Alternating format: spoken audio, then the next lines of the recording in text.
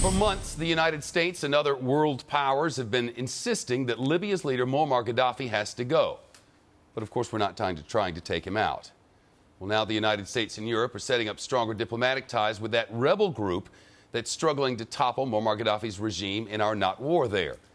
The U.S. Assistant Secretary of State Jeffrey Feltman is now meeting with rebel leaders in the town of Benghazi. We're told he is the most senior American diplomat to visit Libya since the uprising began. Meantime, the European Union has set up an office in Benghazi where the rebels have their headquarters. The, the effort here work with leaders from the opposition. And while the rebels say they appreciate the diplomatic contact and all that, they say it's not enough. They're asking for weapons and for money to end Gaddafi's rule for good. Joining us now, Mideast expert Robert Young Pelton, a journalist, filmmaker, author of the book, The World's Most Dangerous Places, and it is our guest uh, today from California. So uh, they, they lead us to believe this is not a war, and we have not taken sides, and we are not trying to take out Muammar Gaddafi. Yeah, well, we have a few things backwards here because typically when you do these kind of insurgencies, you put the CIA on the ground with special forces troop and you actually create these rebel groups first. If you remember in Afghanistan, we invented the Southern Alliance with Hamid Karzai and we created the Eastern Alliance. Uh, the Northern Alliance was a legitimate force, but essentially we trained these people before they started firing off guns. What we have is a kind of a chaotic situation where we have a lot of Libyans who are very upset at Muammar Gaddafi, but have no military training, no strategy, no tactical skills.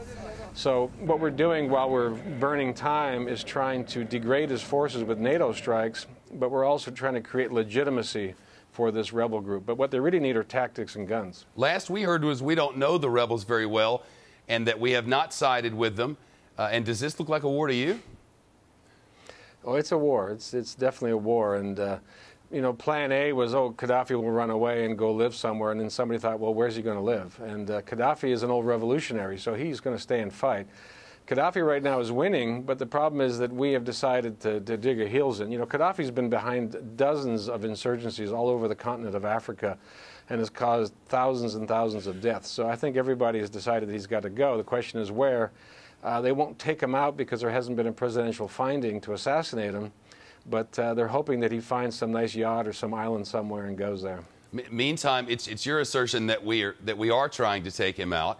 But from every contact I have in that region, and all of my colleagues as well, it doesn't appear like A, these rebels have enough weapons, B, don't, don't really know how to fight, and C, are not organized enough to take out much of anybody.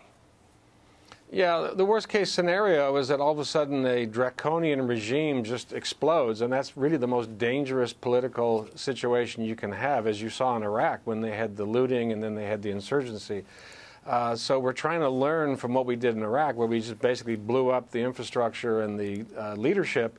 So we're trying to slowly let the gas out of Gaddafi's balloon while we build up these uh, revolutionary groups. But in, in, in effect, there is no organized revolution against Gaddafi. There's a bunch of very determined citizens holding out in sort of besieged communities. But we're trying to create something.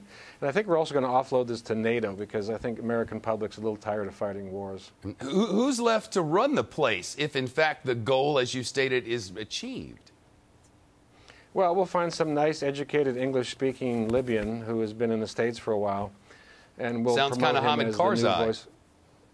Well, it's that worked out beautifully. goes back to Chalabi, goes back to Chalabi and people like that in Iraq as well. But uh, we need to find. We, I think we have plenty of people like that who will stand up as uh, icons of democracy. The problem is that nothing will work underneath them, because there's a lot of people in high positions that don't want to let go, and that's in the security and also the economic infrastructure.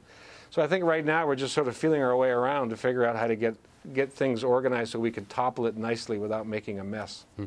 Does this does this stop it, or does this continue to spread? I mean, we we got Saudi Arabia as a concern, and and others.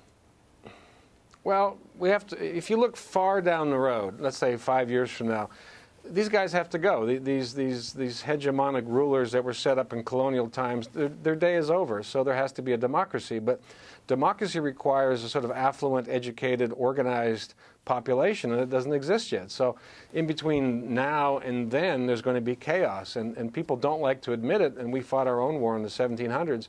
Going from a dictatorship or a colony to a democracy is very ugly, very messy, and very deadly. Mm. Robert Young Pelton live with us. Robert, thank you.